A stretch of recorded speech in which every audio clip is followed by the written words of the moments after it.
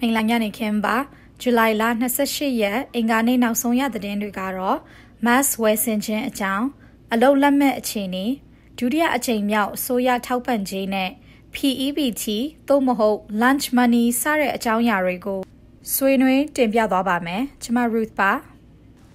COVID-19 နောက်ဆုံးအခြေအနေပိုးတွေ့လူနာအသက်469ဦးအပါအဝင် စုစုပေါင်းလူနာ4200 485ယောက်နဲ့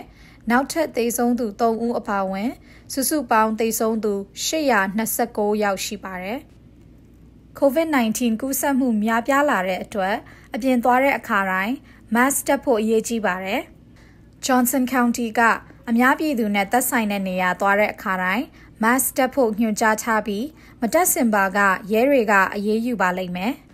ဖုတ်ကောင်တီကတော့အပြင်သွားတဲ့အခါတိုင်းအဝတ်နဲ့ချုပ်ထားတဲ့ mask သို့မဟုတ်မျက်နှာဖုံးသုံးဖို့အကြံပေးထားပါတယ်။ဖုတ်ကောင်တီမှယောဂကူးစက်မှုများပြားလာတဲ့အတွက်အဲ့ဒီလိုထုတ်ပြန်ထားတာဖြစ်ပါတယ်။ mask တက်တာအင်မတန်လွယ်ကူတဲ့အပြင်မိမိနဲ့တခြားသူကိုပါကူးစက်မှုမှကာကွယ်ပြီးသားဖြစ်ပါတယ်။ COVID-19 ပြန့်နှံ့မှုထိန်းချုပ်နိုင်ရန် မျက်နှာဖုံးအသုံးပြုခြင်းနဲ့ social distancing ဟာထိရောက်မှုရှိကြောင်းအထောက်အထားတွေရှိပါတယ်။သင်မိသားစုမိတ်ဆွေများနဲ့မိမိကိုယ်ကိုယောဂကူးစက်ခြင်းမှကာကွယ်ဖို့ mask ကိုအသုံးပြုပါအစိုးရထောက်ပံ့ကြေးဒုတိယအကြိမ်မြောက်ရရှိမယ်ဆိုတဲ့ကောလာဟာလသတင်းတွေဟာမမှန်ပါဘူး။နောက်ဆုံးရသတင်းတွေမှာအစိုးရမှမဆုံးဖြတ်ရသေးကြောင်းသိရပါတယ်။ဩဂတ်လအစောပိုင်းမှာ ပေးနိုင်ဖို့အစိုးရမှစီစဉ်နေဆဲဖြစ်ပြီးထောက်ပံ့ကြေးရရှိမယ်ဆိုရင်သတင်းထုတ်ပြန်သွားပါမယ်။အလုံးလက်မဲ့ထောက်ပံ့ကြေးရရှိသောသူများအတွက်ဒေါ်လာ600ပို့ပေးပြီးဖြစ်ပါတယ်။လွန်ခဲ့တဲ့ရက်အနည်းငယ်ကအများစုကို ပို့ပေးပြီးဖြစ်ပါတယ်။ထောက်ပံ့ကြေးဟာဇူလိုင်31ရက်နေ့မှာနောက်ဆုံးဖြစ်ပြီးနောက်ထပ်ထောက်ပံ့ကြေးအတွက်မဆုံးဖြတ်ရသေးကြောင်းသိရှိရပါတယ်။ ဒုတိယအကြိမ်အစိုးရထောက်ပံ့ကြေးရအောင်လုပ်ပေးမယ်အလုံလက်မဲ့ထောက်ပံ့ကြေးတောင်းပေးမယ်ဆိုရက်ရိုက်စားသမားများရှိနေကြောင်းသတိပြုပါ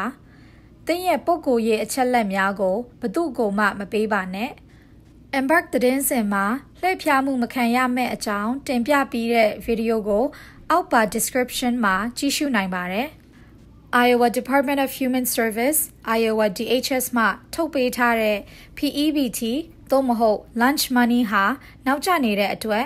မရရှိသေးဘူးဆိုရင်ဩဂတ်လ9ရက်နေ့နောက်ဆုံးပို့ပေးမှာပါ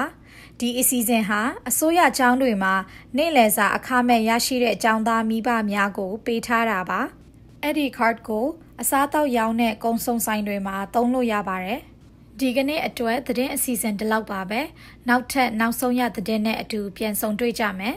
နောက်ဆုံးရတဲ့အချက်လက်များသိရှိနိုင်ရန် YouTube ရဲ့ Subscribe ခလုတ်ကိုနှိပ်ပြီးသင်မိသားစု မိတ်ဆွေများကိုလည်းပြန်လည်ဝေမျှပေးပါကျေးဇူးတင်ပါတယ်ရှင်